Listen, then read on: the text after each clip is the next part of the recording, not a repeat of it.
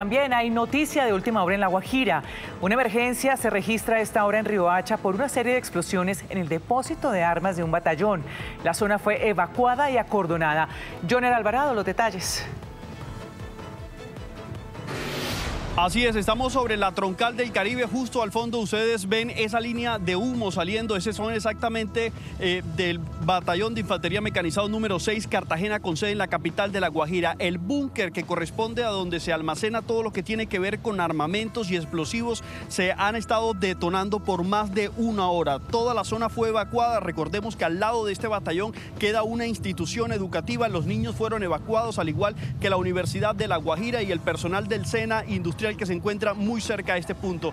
Todos los organismos de socorro se encuentran aquí y el primer reporte que han entregado las autoridades es que esta explosión obedece en sí a las altas temperaturas.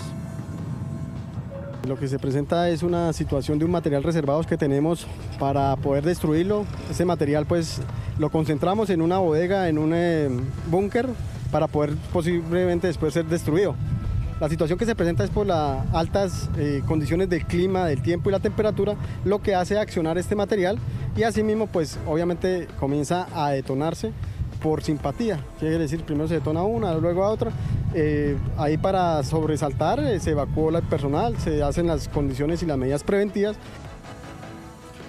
Solamente, solamente carrotanques y además de eso, ambulancias están al interior del batallón. Todo el personal de urgencia y de gestión de riesgos se encuentran exactamente en este punto. La troncal del Caribe está completamente cerrada y no hay paso ni hacia Riohacha, Manaure, Uribia y Maicao.